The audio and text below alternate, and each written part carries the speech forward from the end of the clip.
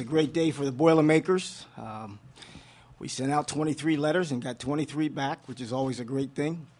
Uh, if you take a look at the numbers across the country, there's 254,000 young men that play football as seniors, and uh, there are 5,000 scholarships that are given out each year. And that's how you try to get to your magical number of 23, which is where we signed. Um, and you take a look at the whole process from the beginning. You look at your current roster, and you see how many guys you need for positions, and then you look at the signees, which you'll get a chance to talk to some of our um, guys that were here prior to us getting here, the committed guys, the 13 committed guys. You take a look at all those numbers and you try to get to that magical number of 23. And we decided as a staff that we're going to take 10 guys uh, once we got here, and we wanted to have a Midwestern flavor. So we looked at Ohio, we looked at Indiana, Illinois, Kentucky, uh, Michigan, and uh, decided that uh, we're going to go after it pretty hard. And from those 10 or 11, we signed four from Ohio, and we signed two from Illinois, one from Kentucky, and the other guys came from Florida. We had two from Florida, and then one from um, one from Atlanta, Atlanta, Georgia. So, but if you look at the whole composite of the class, we took five from Ohio, five from Florida, five, five from Georgia, three from Indiana, three from Illinois, and we took uh, one from Kentucky and one from Texas. So that was the composite of the class, and we think it's a very unique class. I think if you if you study them, the thing that you see is it's a hybrid class where there's a lot of guys that can play different positions. You look at the the, the uh, secondary corners can play safety, safeties can play corner. There's a lot of linebackers who can put their hand in the dirt.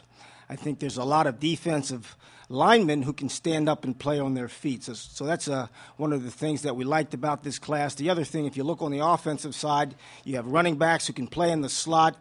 We have a great tight end, we think, that can we can detach from the formation and give us some things from the outside.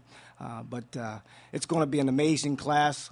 Can't wait to get started. I think the big thing now for us as a coaching staff is to get to know our current players that are here on campus.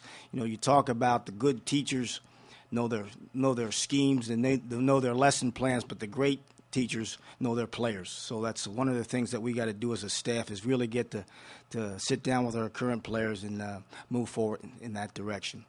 Darrell, you mentioned right from the jump that uh, there's a lot of guys in this class you think can play other positions. Can you maybe uh, uh, I guess, highlight a couple of those guys you think you can use in a couple different capacities? Well, again, I think you can det- detach the tight end. He can play outside, so you don't have to change personnel groupings all the time if you want to get in the four wide sets. But you take a look at that back end and the secondary. Those guys, like Coach Haycock said, you know, those corners are physical. And uh, you got guys coming downhill, and they're going to strike you. You can play them at safety. Uh, and you know you're a little thin at safety uh, with the, the, the roster right now, but I think a lot of those young guys will be able to step right in. And then you take a look at the running backs; those guys can all catch, uh, so you can always detach those guys out of the backfield and put them in the slot if you need to. It's all about creating depth. Some other schools were uh, interested in Keyante Green down the stretch. Just how important was it to keep him uh, in the fold, and what kinds of things do you like about him?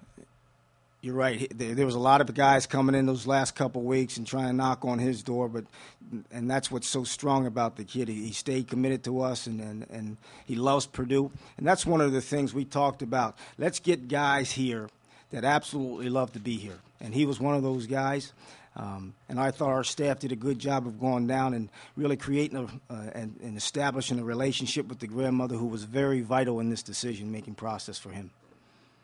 Just how exciting was it to recruit this class in, in obviously a very unusual situation in a short turnaround. Well, it's exciting. And, you know, our staff did such a great job in a short period of time of going out and finding the best players that were out there. And, uh, you know, it all starts with the evaluation process. And those guys are such great evaluators. And I thought they did an unbelievable job of yielding some of those great players that were out there. Darrell, when you recruit guys, you obviously want to get to know them as best you can. When you're working with the sort of calendar you were working with, did you feel like you had enough time to establish the sort of relationship you want to get with kids? You know, not as well as you like to. You know, you like to get to know the dog and all those other things that you don't in, in a three week period, you couldn't get to know as much as you like to, but you do the best job that you can in that short period of time.